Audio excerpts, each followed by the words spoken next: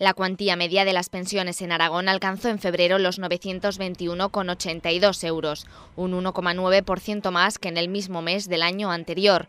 En total se han abonado 293.631 pensiones, lo que representa un 0,8% más que en febrero de 2014.